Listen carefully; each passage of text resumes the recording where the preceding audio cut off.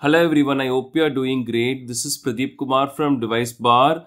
In this video, we will see how to force restart our OnePlus Nord 4 smartphone. So let's check it out.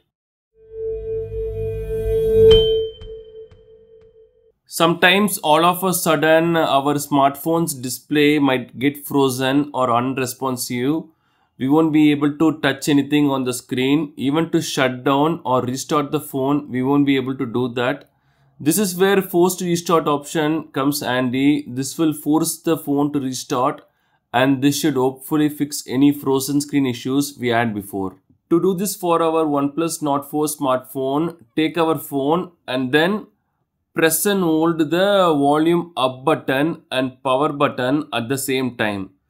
We have to press, press and hold the volume up button and power button at the same time.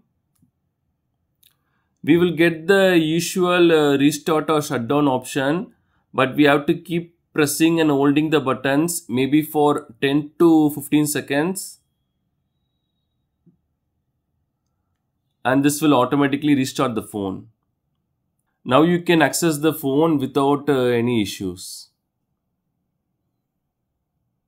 That's all. These are the steps for the OnePlus Nord 4 forced restart. This could also work for other OnePlus smartphones or even other brand smartphones. Thanks for watching this video. Do kindly share your questions and thoughts in the comment section. Please do subscribe if you find this video helpful. Have a wonderful day and night.